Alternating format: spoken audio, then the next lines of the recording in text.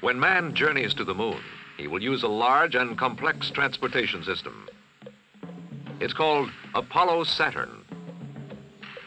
All told, the assembly is 363 feet high and at ignition weighs over 6 million pounds. Of this, the portion that will make the trip to the moon is the top 53 feet.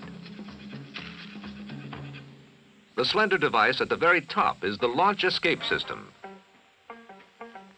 If the launch is smooth and all systems operate properly, it is discarded early in the flight.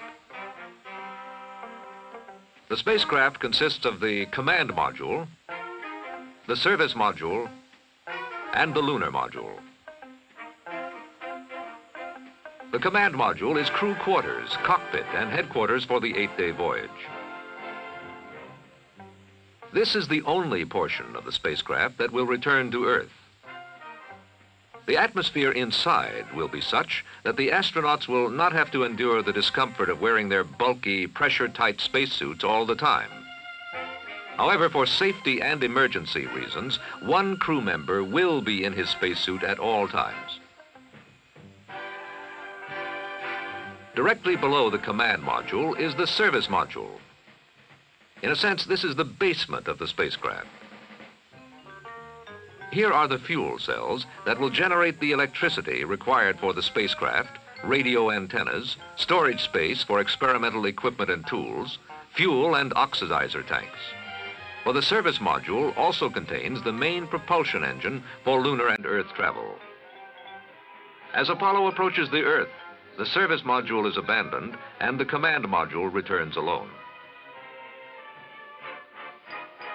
At launch, the lunar module occupies the third position in the spacecraft. During the lunar trajectory, the command module and the service module fly out about 100 feet, turn around, and come back to dock with the lunar module.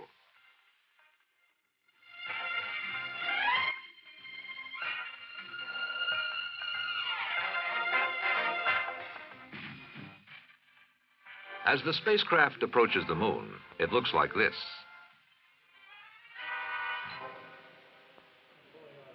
The lunar module actually consists of two vehicles. The descent stage, which is mainly the landing gear and an engine that is gimbaled and can be throttled. And the ascent stage, consisting of yet another engine and cockpit or cabin portion.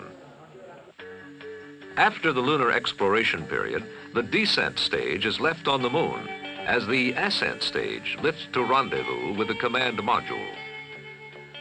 After the crewmen transfer to the command module, the lunar module is left in lunar orbit as the command module is steered into its homeward course.